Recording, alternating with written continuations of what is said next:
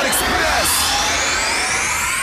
ثمانية ودرر صباح النور صباح الورد والياسمين. أهلا وسهلا بكم في سبور إكسبريس مع كرة السلة مع المنتخب الوطني التونسي الليلة يلعب مع ثمانية متاع الليل. منتخب مع منتخب جنوب السودان في الجولة الثانية من تصفيات كأس العالم 2023 في كيغالي في رواندا. البارح منتخبنا كان بدا بقوة وفاز على الكاميرون 65 54 تفاصيلها 20 15 17 15 15 15 و 13 19 على مستوى الأرقام.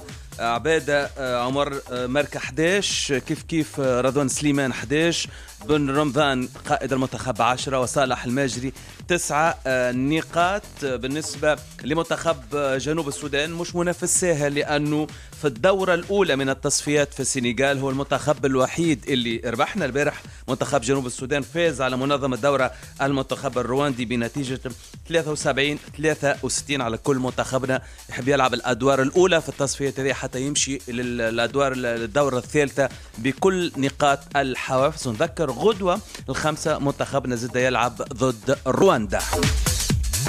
إلى كرة القدم النادي الإفريقي آه، طلب عدم استعجال النظر في ملف نزاعه مع هلال الشابة لدى المحكمة الرياضية الدولية عكس ما آه، طلبته الجامعة التونسية لكرة القدم وهلال الشابة ويعود ذلك لكثرة الملفات والنزاعات المطروحة على طاولة إدارة النادي وهي ذات أولوية حسب مصادر النادي الإفريقي. ويجب تسويتها قبل المشاركة في كأس الكاف. من جهة أخرى إدارة النادي الإفريقي جرحت في المحكم اللي اختارته إدارة هلال الشابة لدى التاس.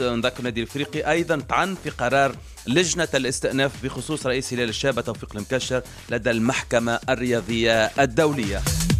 نحكيو تنس. أنس جابر اليوم مرتاحة ما تلعبش في ويمبلدون بعد تاهلها البارح إلى دور ثمن النهائي اللي تواجه البلجيكية إليز مارتينز اللي تحتل المركز 33 عالميا. غدوة لحد المقابلة بداية من 11 متاع الصباح.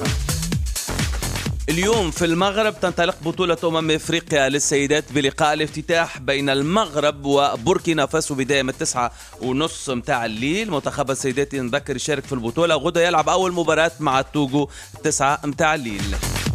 ونكملوا بخبر يجينا من من مارسي من فرنسا تحديدا. المدرب سان باولي يرحل رسميا عن لوام بسبب اختلاف في وجهات النظر مع إدارة الفريق.